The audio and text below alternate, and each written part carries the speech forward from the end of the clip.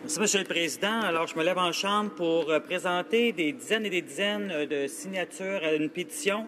Euh, vous savez, depuis quelque temps, Santé Canada a accepté maintenant la vente de saumon génétiquement modifié et ça fait tout un tollé dans la circonscription de Drummond, entre autres. Et les gens veulent l'étiquetage obligatoire des OGM, c'est ce qu'ils demandent. Et à cet égard-là, d'ailleurs, je vais organiser une conférence euh, le 28 février prochain avec mon collègue de Sherbrooke à l'hôtel Les Suites Le Dauphin. Tous les gens du secteur de Drummond sont invités à 19h à l'hôtel Le Dauphin, une conférence sur l'étiquetage obligatoire des OGM. Merci, Monsieur le Président. Présentation